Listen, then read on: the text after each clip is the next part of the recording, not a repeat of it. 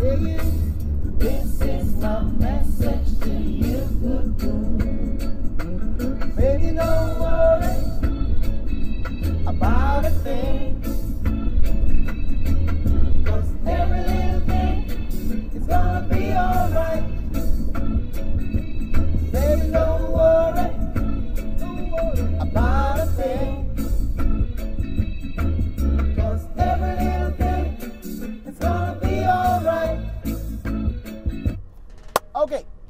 go here with Mr. S. I'm on my way home and I feel like talking about states of matter. What's the matter? What's the matter with you?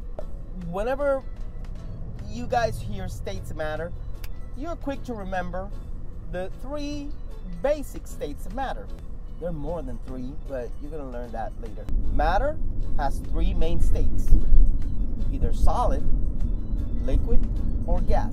Here's the problem whenever I talk about changes in states of matter, you get all lost. Let's figure this one out.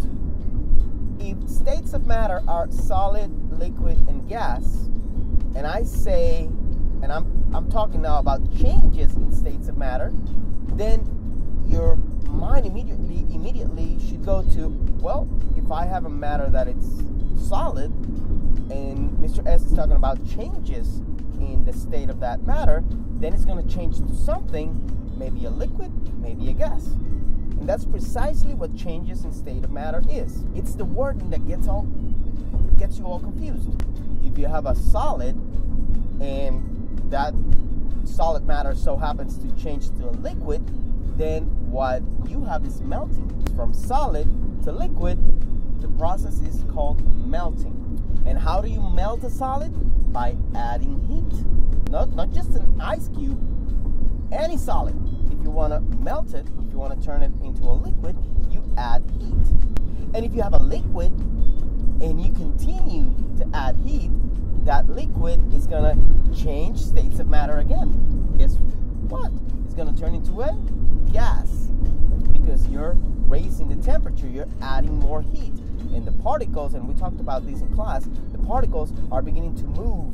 The kinetic energy of the particles, it's, it's increasing, and they're moving faster and faster and faster as you raise the temperature, faster and faster, raise the temperature, raise the roof, until they become a gas. What happens if you have a gas? And instead of continue to add heat, you take away heat.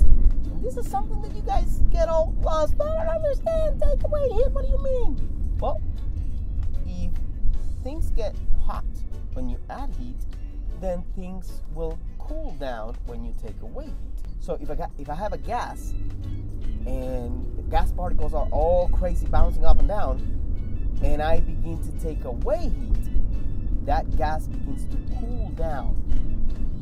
And when a gas cools down, it reverses.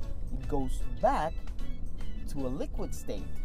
So that's another change of states of matter, uh, the, the state of matter. And then if I have that liquid and I continue to remove heat, the liquid is going to cool down even more and it's going to turn into what? Into a solid.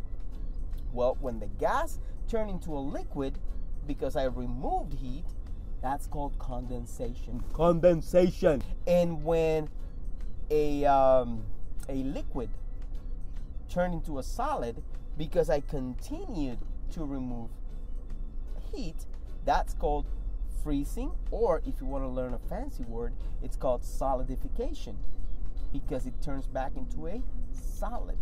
Okay? So, solid to liquid, melting. Liquid to gas, evaporation. Gas to liquid, condensation. Liquid to solid, freezing. That's it. That's it. On the go, Mr. S. Yay.